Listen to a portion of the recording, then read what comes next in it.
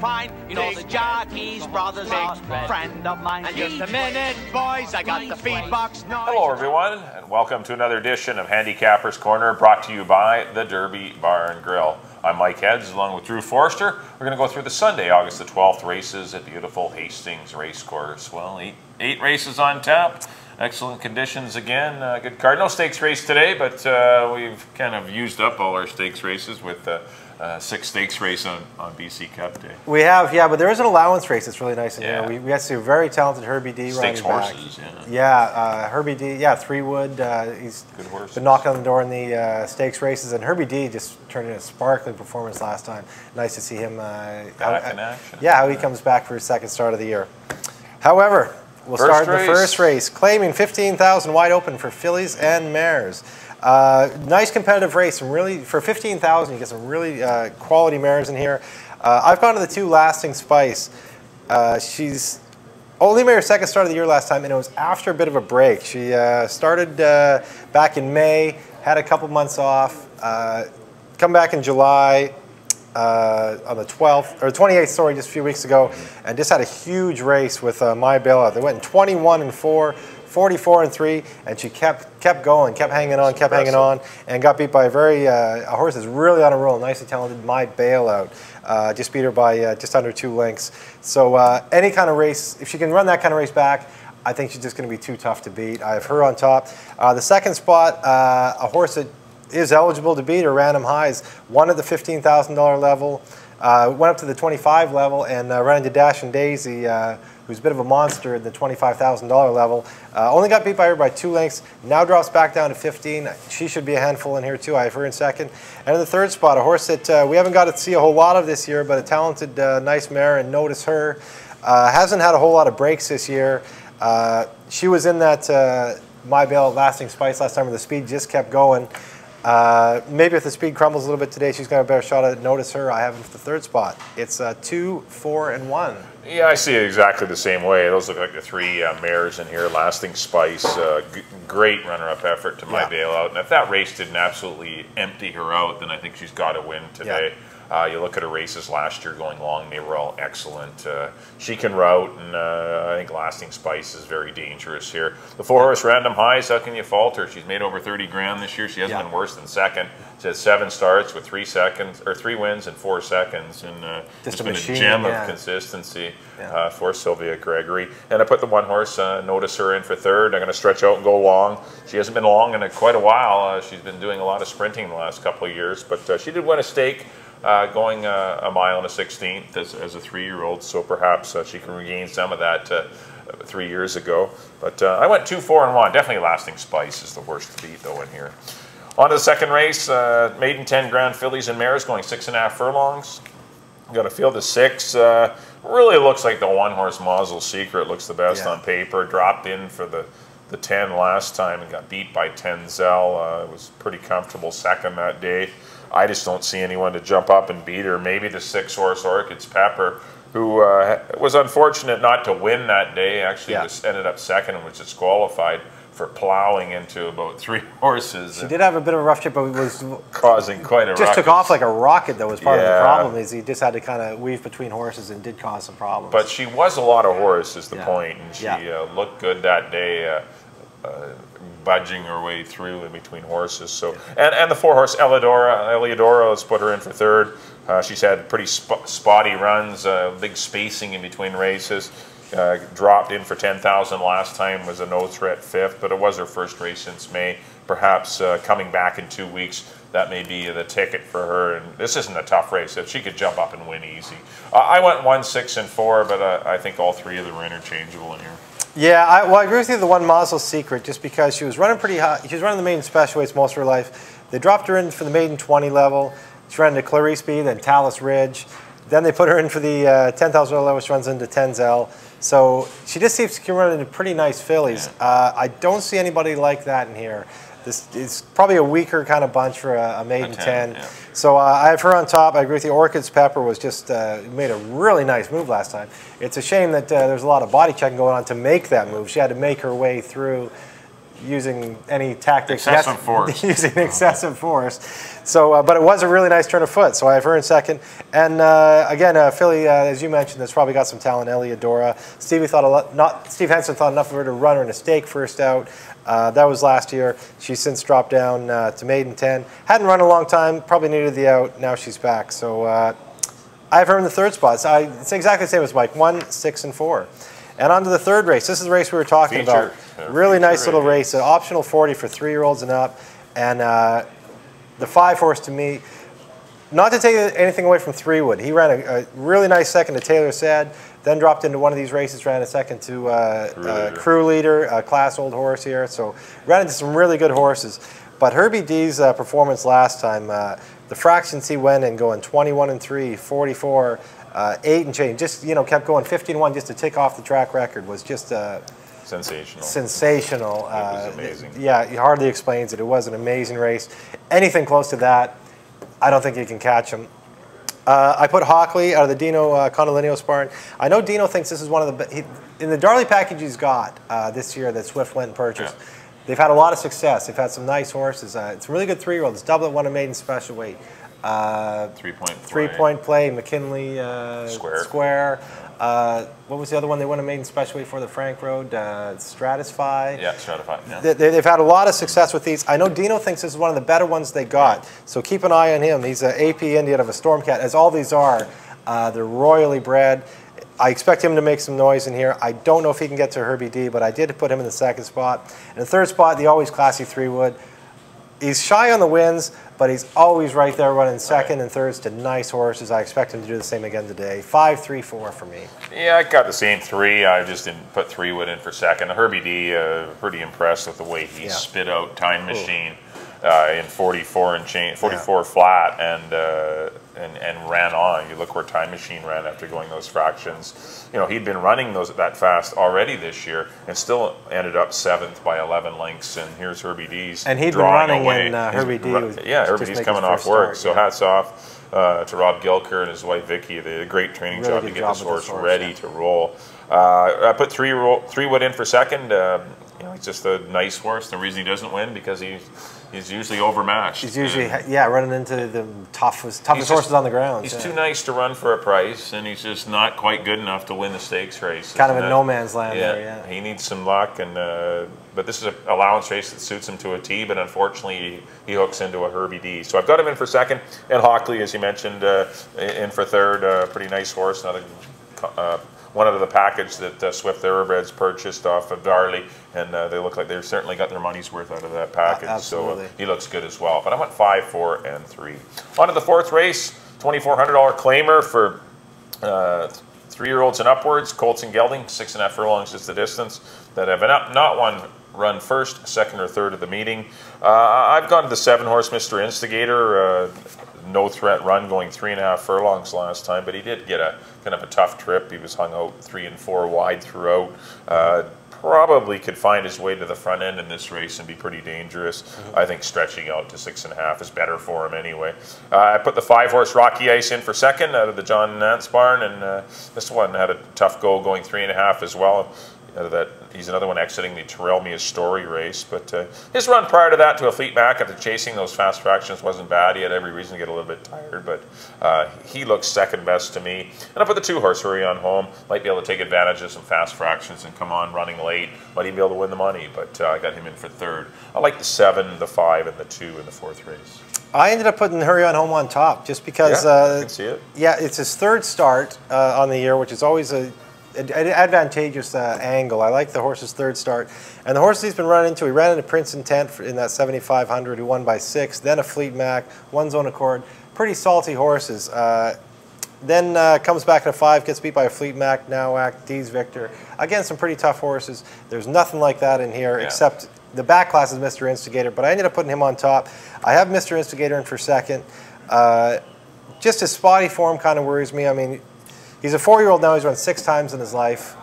Not really sure what to make of him. Uh, if he's anything near his old self, you won't catch him. Right. And in the third spot, I put Pay Daddy. Uh, been struggling, but uh, he kind of did the same show last year. He took him a while to get going, and once he did, he was winning, and he's a horse that likes to win at big odds, and uh, I think he can do that today. So uh, maybe not win, but I think he could be in the mix. So I have him in for third. Two, seven, and one for me. On to the fifth, Maiden 3000 for three-year-olds and up, and uh, going six and a half. And I've gone to the seven, Mr. Sandman, a horse that was finally kind of putting it together. Uh, ran long last time, uh, I ran into uh, excess dividend, Yeah. who was really tough that day. Just ran away and hid. He was kind of the best of the rest. Uh, three, almost four lengths in front of the uh, third horse. Uh, comes back, shortens up, but comes back, you know, right back to the three thousand dollar level. So uh, I like Mr. Sandman on top. The second spot, I have uh, GN Victor uh, out of the Rob Gilker barn. I liked him last time, and he kind of ran flat, but he had an excuse to. He's run once in his life, had a year off, come back. So uh, with the out, I think he improves. Have him in for second. And the third spot, Banner Blossom. Uh, horse that uh, starting to put it together for William Levan away. Uh, ran into a monster in Camilchi Road last time and won by eight uh, for maiden five. Drops to maiden three to make sure he doesn't run into anybody like Yeah. that. And I think he's live in here too. So I got seven, six, and five.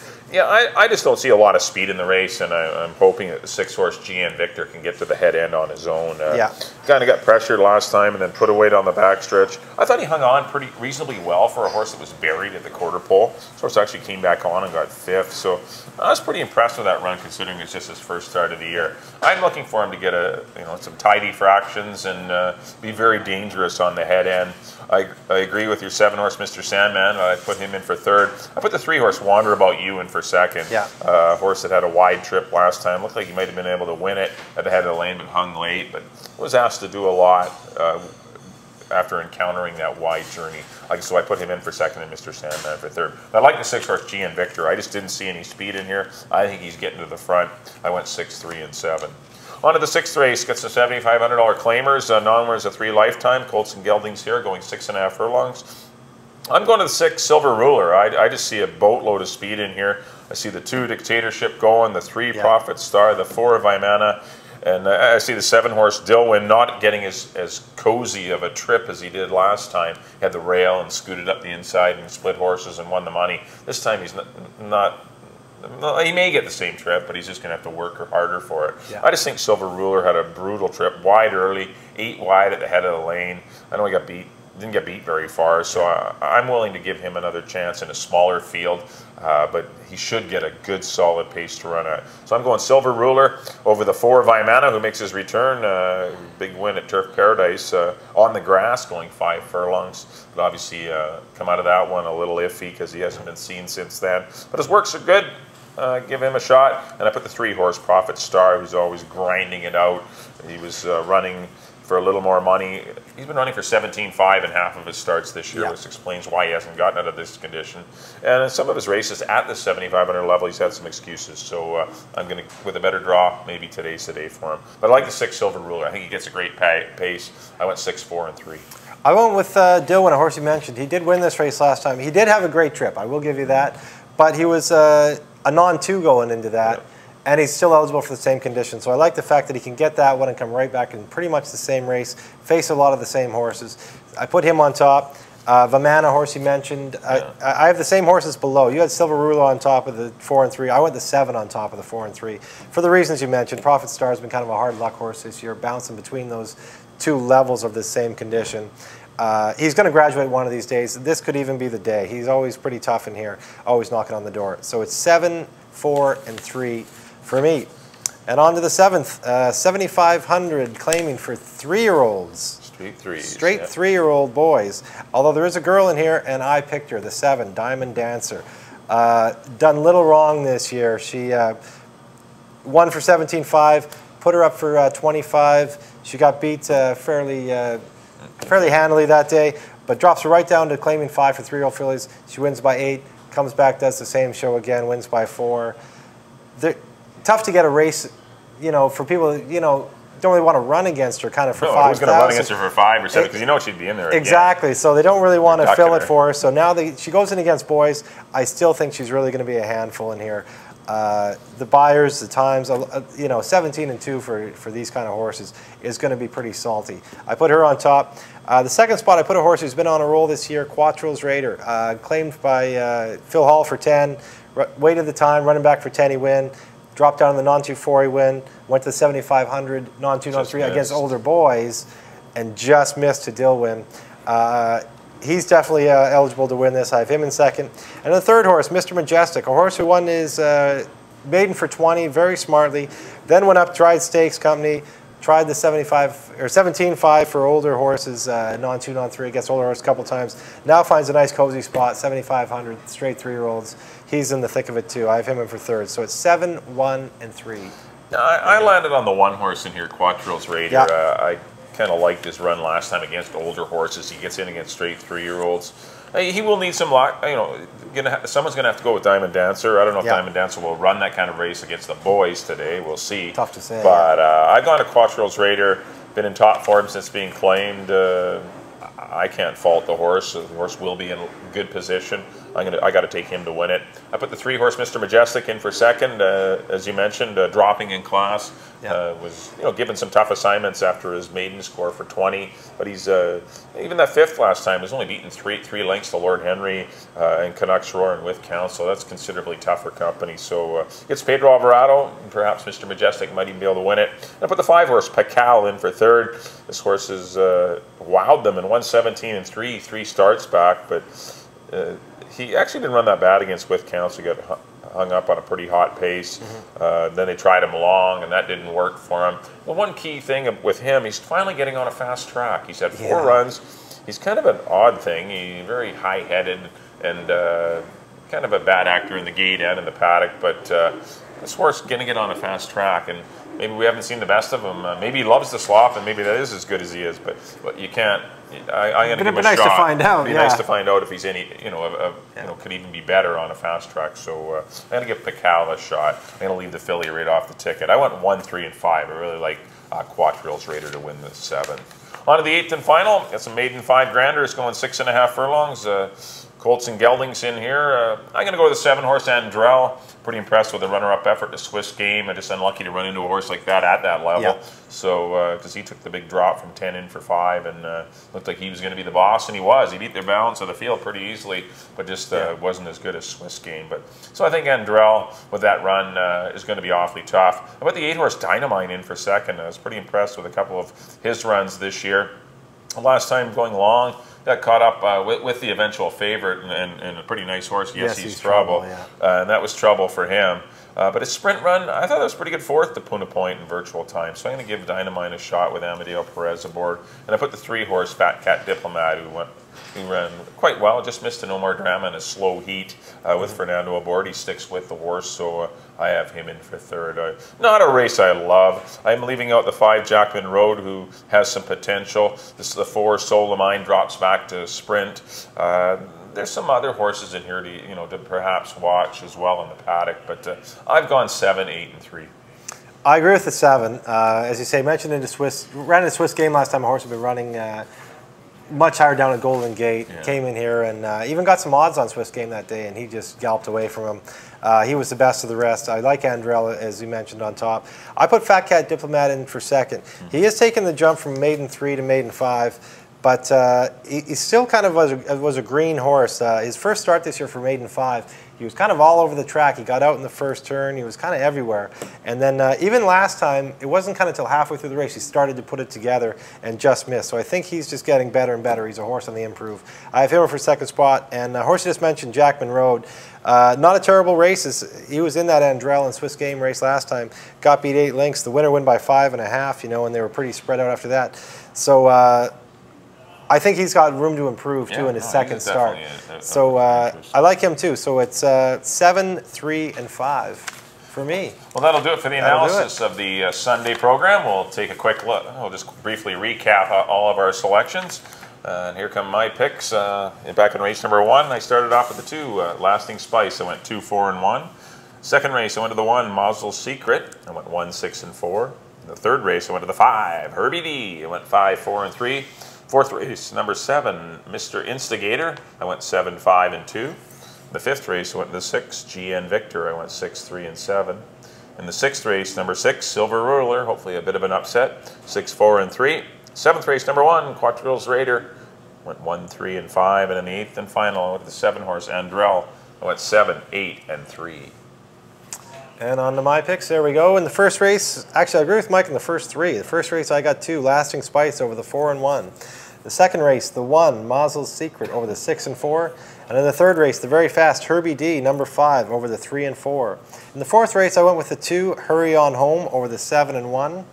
The fifth race, I went with the seven, Mr. Sandman over the six and five. In the sixth race, I went with the seven, Dilwyn with four and three. In the seventh race, I went with the girl, number seven, Diamond Dancer. I got a lot of sevens. You got here. a streak of them. Streak there. of sevens. Sevens. Look at all that. Diamond Dancer over the one and three. And in the last, the seven again, Andrell over the three and the five. Lucky number seven. Oh, that's what we hope. All right, thanks everyone for tuning in to Handicappers Corner. Don't forget, if you can't make it out to Hastings Racecourse, get down right here to the Derby Bar and Grill. Great food specials, great food all the time. Lots of simulcast wagering, and of course, you can watch Hastings right here at the Derby Bar and Grill, 176th and Zero Avenue. So come on out. Great staff, uh, great atmosphere. If you can't make it out to Hastings. All right, that'll do it for this edition of Handicappers Corner. I wish everyone lots of luck throughout the weekend, and we look forward to seeing you next time here on Handicappers Corner. Horse can do. If he says the horse can do, can do, can do. I'm Can picking do. Valentine, cause on the morning line, the guy's got him bigger at five to nine. But make it effort.